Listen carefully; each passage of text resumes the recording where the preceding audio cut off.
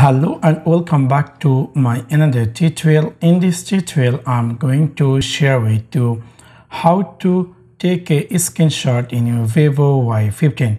So let's take a look how to do that.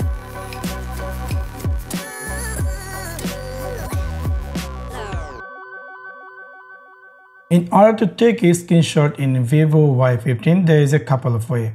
First of all, we know if you want to take a screenshot anywhere in most of the phone, you need to click this power button and volume down rocker button. Same here in Vivo Y15, if you want to take a screenshot, you can easily press the power button and volume down rocker button long press and it's going to immediately take a screenshot. You can see I had just now take a screenshot.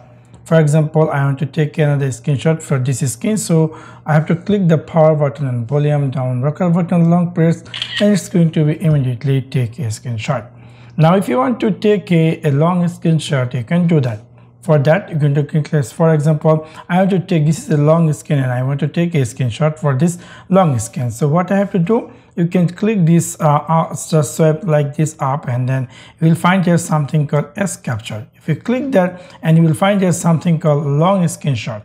So when you click this long screenshot, a screen will appear something like this. So you're going to click here next and it's going to immediately come down. Again, I'm going to click here next and now I'm going to click here save. And now you can see this is immediately uh, saved with the long screenshot. So this is really quite interesting. And from here now you can easily share this screenshot or if you want to edit it you can do that. So this is how you can easily take a screenshot in your vivo y15 so that's for now. Thanks for watching my video. See you next one. Peace